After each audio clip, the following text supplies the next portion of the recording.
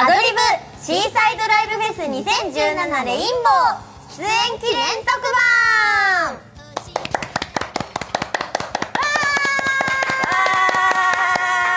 はい。はい。えー、ヘゴチンの口内炎が火を吹いている。こんばんは巽悠衣子です。マジで口内炎痛くて死にそう。こんばんは大橋彩香です。はい。アドリブシーサイドライブフェス2017レインボー出演記念特番がスタートしました。1 12月10日にワイハマーアフィシアターで開催されるシーサイドライブフェス2017に向けて番組や楽曲などをより多くの方に知っていただくための特別なニコニコ生放送となっております。すごい読んだね。いて。そうなんですよ。もうね今口内がもう3つ4つぐらい。3つ。もう3つあってなんかもう本当滑舌がもうね喋りづらくてしょうがない。かわいそう。さっき買ってたもうジュースもねこんな大きいジュース買ってたのに一口飲んで「いて!」って言ってシュッて置いてたよね。そうシュッてシュッて置いてしまったシュッてね。えシュ今ッて。日今日始まる前めっちゃシュッシュつぶやいてましたシュもんそうシュシュシュってみんなねスマートに見てねってこと。シュッシュシュあなるほど。そうそうそう。シュッシュ始まる前もめっちゃなんかコメントでシュッシュッ。シュッシシュシュシュッ。シュヘゴチもねつぶやいてくれたもんね。あそうですツイッねターの方で。はい顔文字付きでシュッシュッシュッ。煽ってるね。煽ってないです。はい。煽り芸など存在しません。そうね。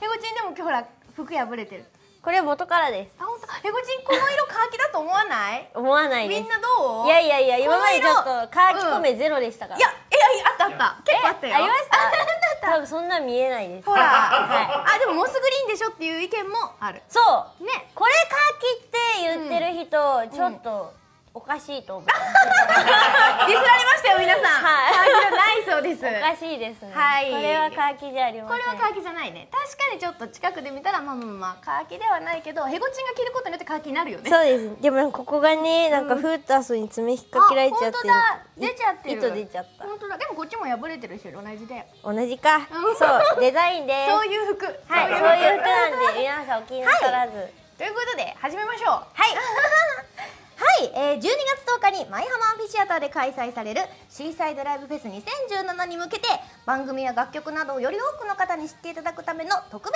なニコニコ生放送となっております。これ私読みませんでしたさっき。読んだ？うん。2回目です。大事だから。さっき私これ頑張って読みました。そうだ頑張って読んでた。そう痛みに耐えて。そう頑張れって思ってたからすっかり内容が抜けてた。読んだ次次多分私次どこ？これじゃないですかあここね私、はい。あなるほど。えー、っと今日は私たちがニコ生やるのは2回目かな。イエーイ。そうですね。前回はねあの30分でね、あはい。のパシフィコ横浜でライブフェスやるときにあのやらせていただきましたね。そうなんです。2年ぶりにヘゴチとニコ生ということで、はい。結構レアだよね。そうですね、今日は1時間です、うん。はい、はい、皆さんねまったりとあの見ていってほしいなって思います。はい。コメントも書いてね。はい、もうね、はい。早速たくさん、ね。またありがとうございあます。り。がとパシフィコな。う パシフィコな。あ、もう言えるようになりました。パシフィコな。言える。気抜いたらパシフィコになる。すごい、やっぱ2年経つとう。るさいわ。うるさいわ。こらこらディスってんだろ完全に。すいません。はい。そしてこちらのニコ生ですが21時30分頃まで公式生放送を行いまして、その後はシーサイドチャンネルにて22時頃までチャンネル会員限定放送を行います、はい。もしよろしければシーサイドチャンネルに入会してください。お願いします。ではお時間に限りもございますので行ってみましょう。皆さん最後までお付き合いよろしくお願いします、お願い。します。ことになれずにずっとずっと走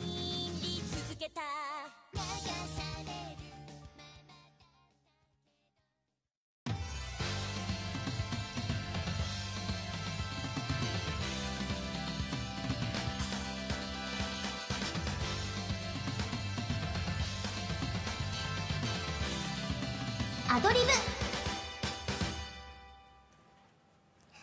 さて今回はシーサイドライブフェス2017レインボー出演記念特番ということで、え前半はライブフェスについてお話ししていきたいと思います。はい。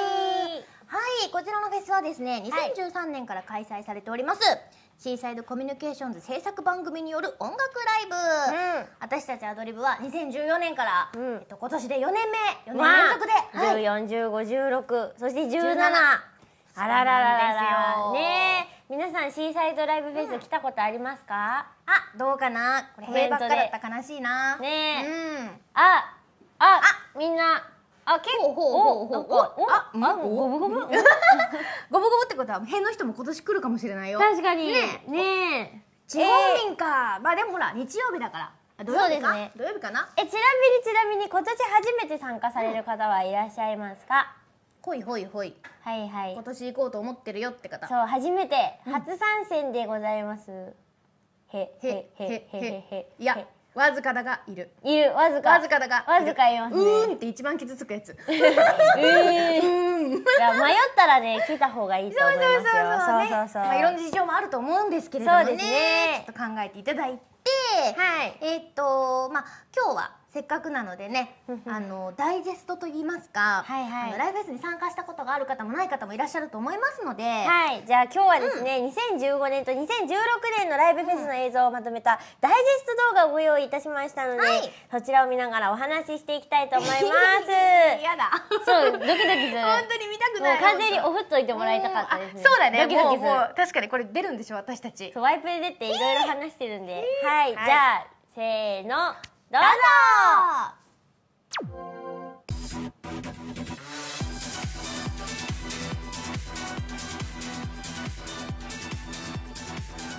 あ出た。こ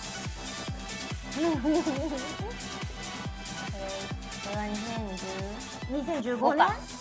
5年だね。これかっこいいね。これ映像がねあもう出てる。うん。もう出てる。ようん危ねえ危ねえ危ねえった今の。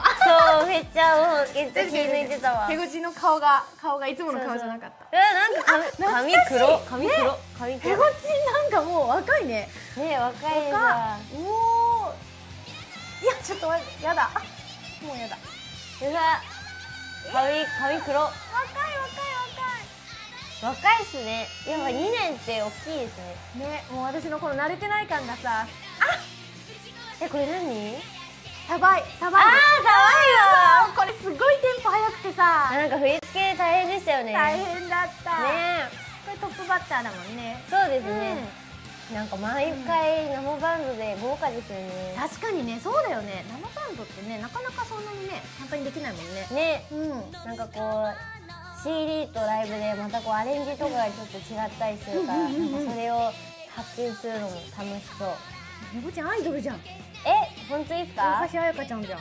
アイドル頑張ってます。よ、いつも頑張ってるもん。そうねアイドルアイドルも頑張ってる。頑張ってるんです。ごい。これまだ10代？ではない。えではないんじゃないですか？2015だから。うん14年ぐらいになんか二十歳ぐらいになって。そうかそうか。1516そうだから20 21歳ぐらい。21歳ぐらいか。ううなんかすごいね。2年前なのに。そうですね。ここはパシこれはねパシフィコ。パシフィコ。言わせたな？誘導された。パシフィコ横浜ですね。大きかったですね、そう。これ私まだ20代だから。いやなんでさまだ20代の輝かしいゆっこだから。20代ゆっこそう20代ゆっこだよ。後ろにこんな映像ついてたんだ、そうなんだよね。後からね知るよね。確かに。うちらはなかなかねこう映像を見られないですそうなんですよ。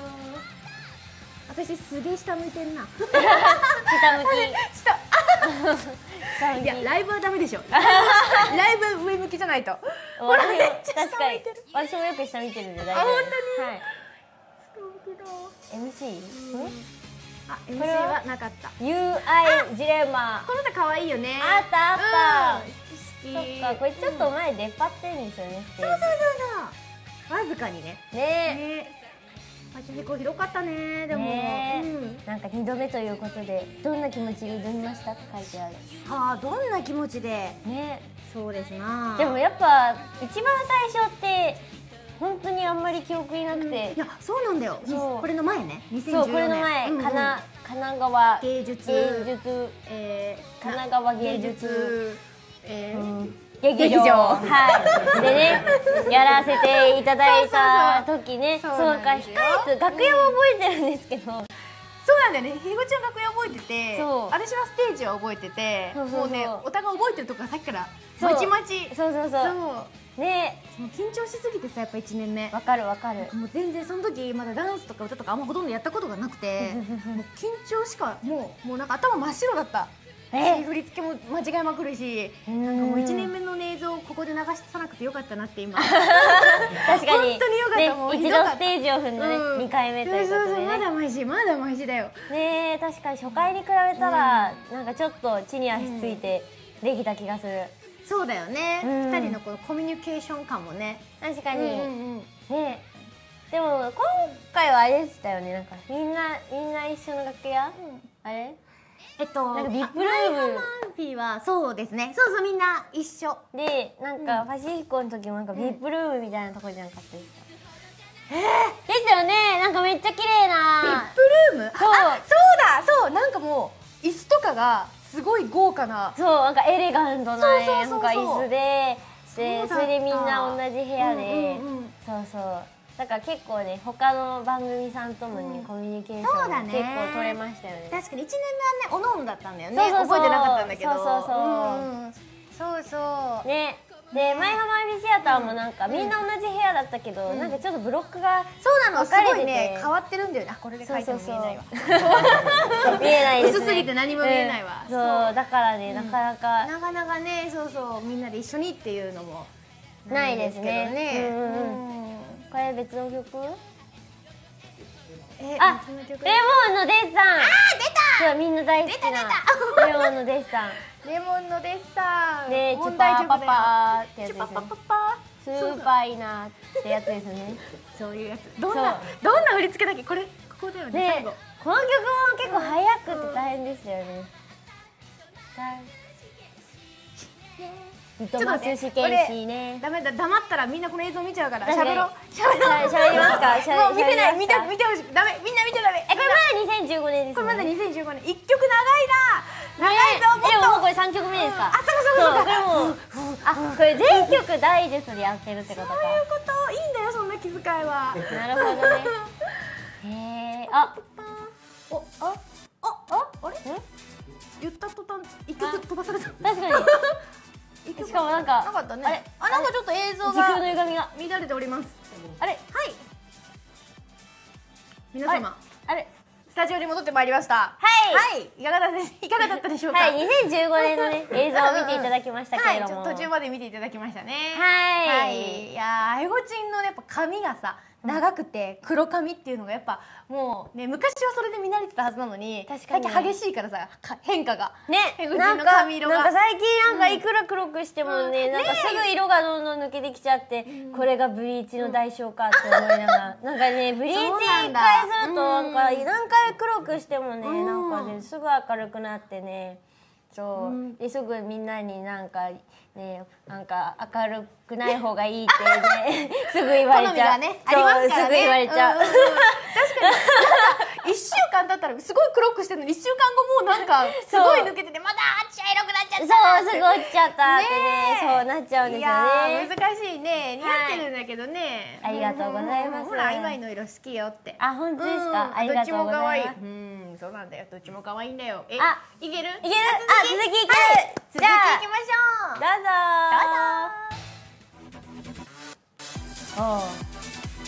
おミュージックアワーズおこれ去年さっきの鈴木？これ。あこれ2016年？多分。になる。ほうほう。終わった終わった。さっきのが終わったよ。じゃあ小次は舞浜アンフィシアタそうだね。ー3度目？3度目の今年と同じ会場の。ねこんな感じだよって分かってもらえるかもしれない。初めての方には。うんうんうん。同じ曲だったんだ。気づかなかった。本当だ。一緒だったんですね。そうなんですね。そうだったんだ。なんか馴染みがあるなって。確かに。あここさちょっとあの違ったんだなって出た出た時の腕。え違ってた？え全然気づかなかった。腕をこうまっすぐ上げてへこち上がってるのに私はイエイイエイって言って上がってるっていうのがあそう映像チェックの時見て全然違うと思ったけど まああえていいかなと思って まあまあまあ。あそうそう。それぞれねちょ個性も出しつつそうなんですよ。話し合いが足りてなかったよね。あれ？話し合いが。そう。なんかね、今回黒いですねそうなんだよね。ちょっとロックな感じね。ね。ちょっと徐々にロックっぽさが。確かに。ね。ちょっとずつ変わってきてる。ね。何でしたっけ？2015年の時はサイバーでしょうサイサイバーだったっけ？であ衣装ではなんかサイバーじゃなかった。そうそうそうかそうサイバーで。サイバーってなんぞやって思ったのは。確かに。だからちょっとキラキキラしてたじゃないなんかねうん宇宙感あったよね。で今回今回このさこの話していい？この乗り場乗ってるとこあるじゃない、うんここね本当ねあの振り付けついてたんだよこのサビのとこも、うん。でもいざ会場に行って上のところに乗ったら、うめちゃめちゃ狭くてそうです意外と。これは落ちるぞってなって、い。そうなんですよ急遽ねちょっと振り付けがなくなったっていう。なくなりましたね。そうなの。なんかこう下の安定したところに行ってからうんうん。やりましょうっていう風になって。めっちゃ怖かった。いやー意外と高かったですよね。そうそうそう。高いし狭いし。なんか火ってなうんうん。おごめんね。はい。はい。衣装の。衣装？うん。あれ何でしたっけ？あなんかロックな感じ。あこあこの曲ラストへえほうほう。満点の。あそうだ。満合ってる。合ってる。覚えてる。そうだこの曲。覚えてる。可愛いこの曲好き。今回バズーカ打ちましたよね。あ打った。二人とも変なとこ飛ばしちゃったんだよね。えそうでしたそうやっぱ樋口は通路みたいなとこ飛ばうわしてー悲しい。私は関係者付近飛ばして。いや関係者席の人がもらってもみたいなね。誰も喜ばないやつ。確かに。ねえさっきゆっこさんカメラアピールしてましたよ。え？なんかこうこうやってなんか。見ないように一生懸命喋ってたのに。えー、いやいやいやいや。ねそう。いろいろ余裕も出てきている。あ確かにそうだね。だって初回の時とか絶対もうこんなできない、あれ？ちょっと待ってなんか激しくなった動きが。なんだ。あれ？あれ？早送りみたいなすごい。早送すりもっとゆっくり見せて。もっと今見せ場だからもうちょっとゆっくり見せてください。すごい。超高速。見せられないよ。そうねここはちょっとあ大事なとこなんでちょっと。ね。なるほどね。ダイジェストでお送りしております。うちらってこんな機敏に動けたんですね。そうだね。ね私たちもあれぐらい。うん。まあもうちょっとねちょっと穏やかではあったけれども。そうですね。だいぶ激しかったですね。まああれですね。私たちほら今回い1回目なんですよ。他の番組さんもこれからニコ生がねあるかもしれないですけど。あーそっか。1個目一回目なんで、うんうん。まあ、ちょっとこれをね経験を踏まえて次からは綺麗な映像が流れるでしょう。確かに。早送りしないでしょう、うん早送りしないでしょう。はい。はい見ていただきましたけれども。はいこれでもう終わり。終わりですか？あじゃあ最後は早送りでしたけど 終わりですはい。どうでした？見て振り返って。うーんなんかそうですね。なんかどんどん路線が変わってるなって思った、うんうん、なんかいろんなこう表情というかいろんな楽曲そうですがね歌えるのが楽しいなって、ね、なんかアドリブって最初はこう元気っていうのがなんかこう取り柄みたいな感じで。元気やる気勇気。そうっていうふうにあれ？あそれなんかどっかで聞いたことある。あれこれは？ぐっちゃった。そうそうなんですよ、でもねなんかこう徐々に徐々にねこう、アドリブはこうねあのもう今年で4年連続ですからね。そうなんですよね。そうなんですよ。徐々に徐々にねなんかこう、元気以外のものもね見せていかなきゃいけないっていうことでねこうフレッシュなのはねこうこう別なね方にね あのやっていフただいて。ねそうそうそういますから。そうなんですよ。そうなんですよ。面白かったのがあのサマーフェスあったじゃない、はい。サマーフェスであのね一緒にみんな一緒に出た時に、はい。フレッシュ高松っていう番組がねここも出るんですけれども、はい。がすごいフレッシュだったんですよ。フレッシュ。で本当にわあ元気って感じですごい、あの盛り上げてくれたんだけど、でもヘゴチンがそれ見ながら「フレッシュですね」って言ってて、うん。あれヘゴチン最年少だよね あれ？そうでしたっけ？言ってた。あ多分多分最年少ほぼ最年少で。最年少のヘゴチンがフレッシュですねって言ってたのに。なんかフレッシュだった、うんなんかねいろいろ小技の効くフレッシュだった、うん。あ確かになんかあのこうやりきる感がすごいよね。いやーすごいすごい。本当になんかっていかなきゃ面白くて、なんかすごいパワーのある方たちだなって勉強になりました。出ますよ今年ねはいライブフェスにも出るのではい。来てほしいなと思うんですけれども。はい、そしてね、はいあの過去のライブフェスを振り返ってきたんですけれども、えー今年は12月10日にマイファマンフィシアターでシーサイドライブフェス2017レインボーが開催されます。はい。出演番組はアドリブ須崎西 SS チャンネル B ラブドメモリーズフレッシュ高松の計5番組です。時間は15時会場、16時開演。チケット価格は6800円プラス税です。現在 E プラスにてプレオーダー先行抽選申し込みを受付中です。明日明日明日。10月10日火曜日23時59分まで受け付けていますのでお早めにお申し込みください。はい。また今年も各番組からシーサイドライブフェス2017を記念しましてオリジナル楽曲が収録された CD も発売されます、うんうん。発売は2017年11月を予定しております。はい。発売日や楽曲などの詳細は各番組や特設サイトなどでご確認ください。はい。はい。4度目今日ねうん4度目、うん。今日ほらオープニングでもちょっとオープニング流れてましたっけ？あの去年の歌。あ流れてねた、流れてた。であの「あれ？今年の歌じゃないんですか?」って言ったら「すみません」って「まだです」ってすみません。すみません。今絶賛制作中ですので、はい。そうなんですよ。なんかだいぶ今年はなんか違いますね。う、んそうだね。だいぶ。どう？アドリブの楽曲ねあのなんだろうな。本当に去年までとガラッと変わっていて聞いたらちょっと、ね。えーってびっくりするなんかもしれない。かおお路線チェンジみたいな感じがするんじゃないかなって思います。私なんかめっちゃへごちの方に寄ってるねあ本当だ。なんか私端っこ行き過ぎなんですかね。私がセンターみたいに。二人なのに立ち位置おかしかった。よ私司司会者やりました。司会者でこんな感じなんだずうずうしい感じになってた追いやられていっている。お恥ずかしい。はい。ね、はい。おねレコーディングをね、うん。私はもう終わりまして、あお疲れ様です、は私もうほぼほぼ終わっております。そうなんです。そうなんですね。そう他曲とかもね、なんかレコーディング行った時にちらっと聞かせていただいたり、うんうんうんすごい。楽しいね、なんか色とりどりって感じで、そうそうそう。そのアドリブの楽曲を私が今恐怖を抱いてるのはどれになんかダンス？はが大体ね、まあ、毎年2曲ダンスの振り付けを用意してくださってるんですけれども、はい。今年は結構激しいからえどうなるのかなって思ってる。確かに、ねどれにつくんだろう。れにつくかもわかんないしどんな、ね、振り付けになるのかもわかんないし。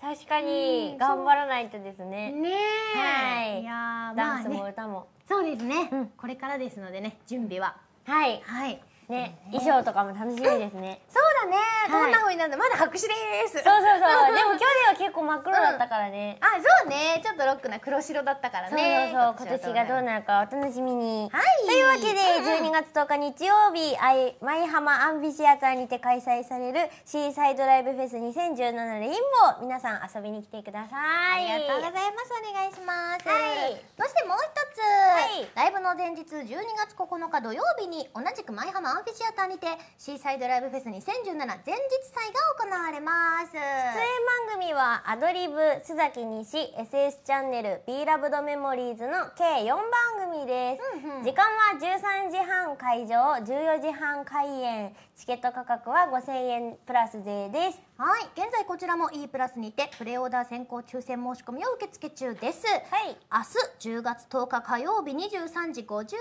まで受け付けておりますのでよろしくお願いします。詳しくはシーサイドライブフェス2017特設サイトをご確認ください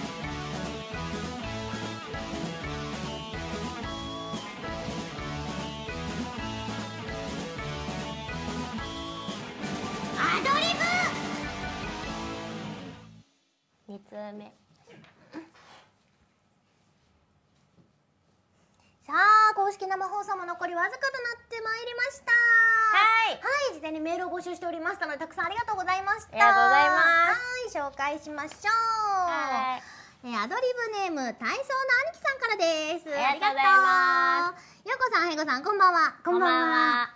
今回のニコ生は、えー、一昨年の記念特番以来となるお二人での生放送とのことで、うんうん。2年前に比べお二人とも数々のニコ生に出演し大人のレディーとしてより一層成長されたと思いますがそうだ。どれだけ進化していってもアドリブのお二人でニコ生をすれば化学反応により何かが引き起こされるのではと変わらぬ可能性を感じてしまうのはアドリブのお二人ならではの持ち味であり魅力なのだと感じます、うん。本日はお二人の掛け合いを楽しませていただきますねということで。すごい。ベタ褒めありがとうございます。そうだね。そうだ。はい。はい。ね、今は今回ちょっとあのなんていうのライブフェスのお知らせだったんですけど、はい。この後の会員の放送の方では、本当に二人でわちゃわちゃどうなるか分かりませんそうですね。ちなみにここはワイズスタジオって。そうなんだよこのスタジオはね、はい。唯一郎植木雄一郎の Y を取ってね、はい。ワイズスタジオってワイズスタジオ。はそうなの。もう正式に命名されそうなぐらいうん。浸透してるから、い。でもワイズスタジオ。なんか今のゆっこさんしか言ってないって聞いたんで。すけど、そうね。今一人引き込んだ。そうですいや私結構いいと思いますよ、ねそうだよね。ワイズスタジオ。おしゃれでしょなんか。ありそうだもんだって、うんうんうんうん。だって Y チョン S スタジオって、あそう。ね普通にありそう。ありそうでいいと思いました。ありがとうございでます。結構はなんかそれ関連で。いいそうです。植木さんいいそうです。卑怯 だってエイキさんが卑怯だって。ペコチンが言えばきっとなる。ね、結構ねそれで番組にね、アドリブにもお便りが来てたりもするってそう。なんかヘゴチンこの名前についてどう思いますかっていう。あー。そうそうお便りが来てたりとかするんですけど。いいと思います。ねえ、はい。やったワイズスタジオ。承認いただきました、えー引き続きこちらからお送りしております。はーい続きましてあタスカニネーム。はい。田中のクローンさんからいただきました。ありがとゆっこさんへごちんタスカニうは確かには特番出演おめでとうございます。今日は体育の日なので普段あまり運動しない僕ですが休日出勤のついでに散歩しました。天気のせいか気分が良くなって仕事も少しはかどった気がします、うんお二人は夜のブランコ以外で最近運動はされていますか？夜のブランコしてないから。えしてないんですか？そうよ。だから引っ越してからさ近くになくて。あじゃあ全な然運動してないんじゃないですか？そう。なんとヨガも解約しました。やめちゃったんですか？あんだけすごくヨガ始めましたみたいなどうやってたんですけど言ってましたよそうねなんですよ。えだってなんとかのポーズとか言ってましたもんね。恥ずかしいからやめて。ややめたんだから。やめたんだからもうやめて。そうかそうかそうか。はいそうなんですよ。えー、でも私も運動したいな。ねえジムねジム行きたいうん。ジムねそうジムにねあの通おうと思って逆に。もうちょっとヨガ置いといて、うんうん。ジムで歩こうと思ってウォーキングウォーキング。主婦のポーズ？主婦のポいやーズ主婦のポーズっていうコメントが出てて なんとかのポーズって言ったから、うん。主婦のポーズだって。ヨガで主婦のポーズやってるんだって。な何がいいのこれ？どこがどこにどこに聞いてんの？確かに。やっぱここじゃないですか。上腕二頭筋下げなきゃ下げなきゃそしたら。そうか。結構しないからはい。はい。何の話でしたっけ？なんか滑ったみたいになった。じゃんやめてよ。ごめんなさいごめんなさい。ジムですよね。ジムねジムそうそうそうね有酸素とかねやりたいですよねうん。筋トレとか。ねエゴチンもね一時期はでもジム行ったりとかもしてるああ言時はね。ってましたよ。先輩ですジム。うんジム先輩。ジム先輩。どれぐらい結構えー、え半年とか？笑っちゃった 半年とか。笑っちゃったよ、うん。そうね。あのうちら結構あんま続かないタイプかもしれないね。続かない。始めてもね。そうですね、ん。そうなんですよ、うん。まあ楽しかったですけどね。なんか心が健康になりました、体というより。すっきりするよね。そうそうそう、ね。そうこれがあの、うん。保険の授業でやったなんとかこうとかなんかヘルスうんたらってやつかってごめん具体例ちょっと言葉少なすぎて何も入ってこなかった。ななんかねあったの。なんかあの保険の授業でなんか運動することによりなんか心の健康も保たれるなんかカタカナのなんか長い用語を習ったんですけどいやなんかあのコメントお願い。そうなんか誰か言ってなんかこう気づいて言ってくれるかなって思ってコメント見たんわかんないでですけどしょ。そう。でもヘルスってついてたねいや確か。ちょっとわかんないんですけど、うん。そう。でもなんかそれをこうジムに行くことによりあのー学びました。わかりました。はい、そうみんなもねなんかこうちょっとね気持ちがガタガタしたりしたらね、運動をするとね、すごい本当になんか、うん。超ポジティブシンキング人間になるからすごいいいと思いますよ。確かにストレス溜まった時こそねこうちょっと体動かしてそうねそうそう。そう心の健康は体の健康も一緒なのです。みたはいいなね。みたいな横文字は何でしょう？とい。うはい。はい、ことではい。皆さんメールありがとうございます。ありがとうございますってことでお送りしてきましたアドリブシーサイドライブフェス2017レインボー。出演記念特番公式生放送のエンディングでございます。はい。皆さん楽しんでいただけましたでしょうか？早いよだって。いやほんと早い。早いわ。これは早い、ねまだまだいける。そうですね。はいそうなんですね。えーシーサイドライブフェス2017レインボー、うん。皆さんにぜひぜひ来てくださいね。うんうんうん。はい、オリジナル楽曲の発売も楽しみにしていてください。それからね、前日祭もきっと楽しいものになるはず。初はず。のはず。そう、ね個性豊かなメンバー揃ってますからね。絶対カオスですよ、うん。やばいね。カオス空間が。カオス空間。でも8人だから私たちもそこそこ喋っていかなきゃ。そうですね。そうそうそう。でもなんか去年もっと多かったですもんね、あ確かに他の番組の人たちも参加してくれたりとそうかして。そうそうそうなんかよりよりカオス度がなんうんか昨年すごかったですけど。よか。ったあ前浜アンフィーでだってエチュードしたもんね。そうそういう場所じゃないからねそうだそうだそうだあのねあの出っ張りの円形ステージそうそうそう使ってなんかねそういうことするために使うんじゃないってこの円形は違うってねそうそうじゃないんだそうそう贅沢でしたうんねそうだねはいなんてね今年も何するのかまだちょっとねわかりませんけどきっと楽しいものになるのではい来てください。お願いします。お願いします。ってことで公式生放送はここまでとなります、はい。この後は会員限定の生放送をやります。よかったらシーサイドチャンネルに入会してほしいなって思います、うん。ここまでのお相手は辰巳よいこと大橋彩香でした。バイバイ。バイバ